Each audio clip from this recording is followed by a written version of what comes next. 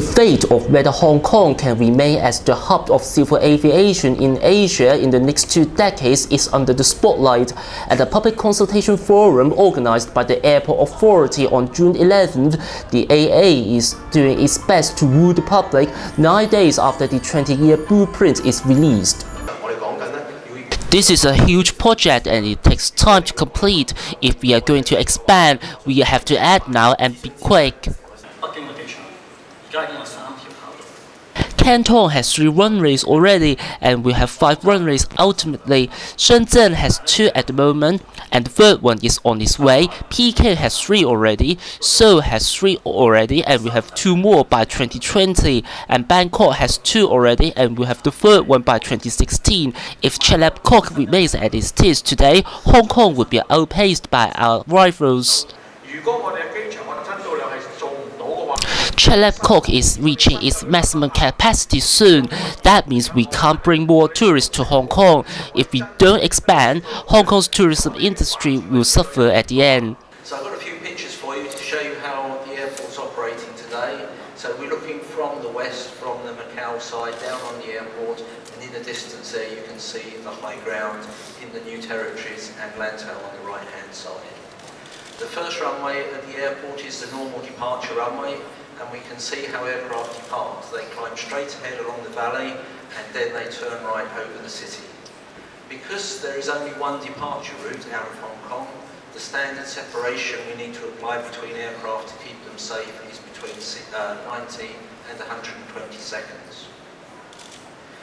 If I compare an airport like Heathrow or a lot of other airports, you'll find there are departure routes immediately from the end of the runway that go in several different directions. That allows much more flexibility for departure and the standard departure separation in this case is 60 seconds. So it shows that because of the mountains and the limited departure route, uh, the departure capacity of the airport is limited to 35 departures per hour on that runway. If we look at the other side, which is uh, arriving aircraft, we have to take into account what's called wake turbulence and the mixture of heavy, uh, wide-bodied and narrow-bodied aircraft is very significant.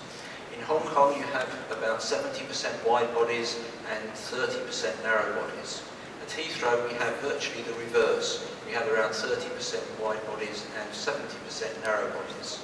Now the standard separation for safety is 4 miles between wide bodies as you see at the top there in the middle, you see a narrow body following a wide body, which requires five miles separation, and at the bottom, two narrow bodies, which have three miles, sometimes even two and a half miles separation.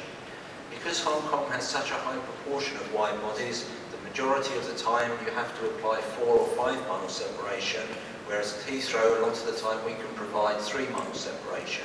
So therefore, the mixture of wide bodies and head and narrow bodies has a very significant effect on the capacity and limits the capacity on the arriving runway to 33 arrivals per hour. When we look at options like the 2030 Master Plan recommended option, which is 15, 25 or greater, then it's a different story. Because in this case, we can have three runways operating independently in their normal mode of operations, and that gives us a capacity of 102 movements per hour. Having mentioned it, I'll give you a quick look at the primary mode or the normal mode of operations for a three runway airport. And starting from the first runway at the bottom, you can see that's in mixed mode with some arrivals and departures. The middle runway is departures. If you have three runways, the middle runway is always good for departures and arrivals on the third runway.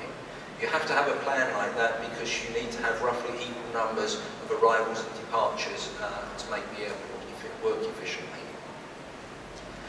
So when we look at the capacity of the three runways, you'll see from the table there, the first runway in mixed mode, the second in departures, and the third in arrivals gives us a total capacity of 102 movements per hour. The Chinese white dolphin has a distribution throughout the Pearl River Delta and are sighted in Hong Kong waters in varying numbers throughout the year.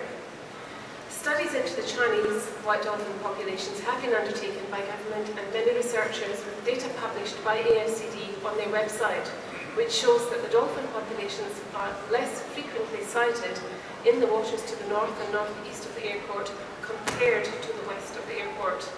but doubts remain.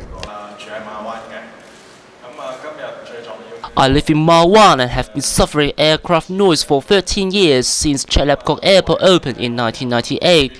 If the third runway is to be built, I've no choice but to stand up and fight.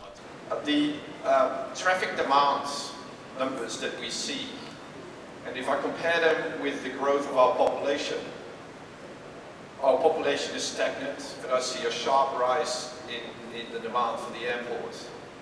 So where does the demand come from? we believe that our airport actually serves a dual purpose.